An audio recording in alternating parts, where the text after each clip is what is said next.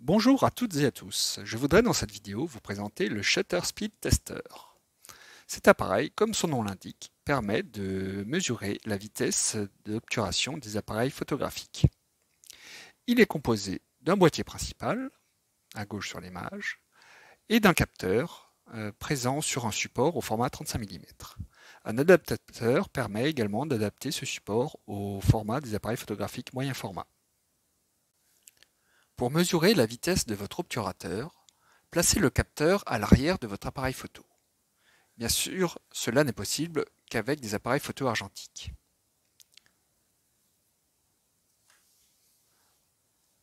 Placez le boîtier en face de l'objectif et allumez l'appareil.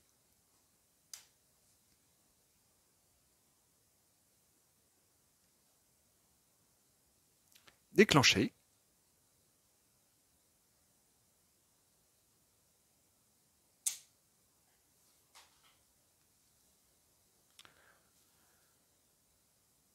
Le boîtier indique le temps d'exposition et son inverse, la vitesse d'obturation. L'appareil est capable de mesurer des vitesses allant jusqu'au 10 millième de seconde. Euh, pour recommencer la mesure, appuyez sur le bouton du boîtier.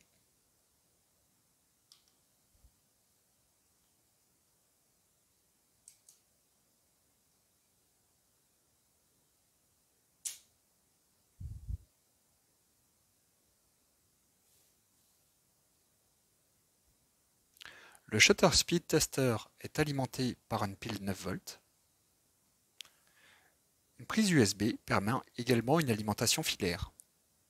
Le shutter speed tester est un projet open source, c'est-à-dire que l'intégralité de ses plans, des schémas électroniques, du code informatique et des modèles en 3D de son boîtier sont disponibles librement.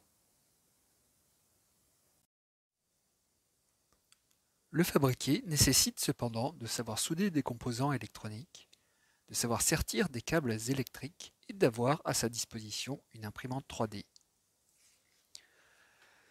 Si cet appareil vous intéresse mais que vous ne vous voyez pas de le fabriquer vous-même, merci de me laisser un message dans les commentaires de cette vidéo.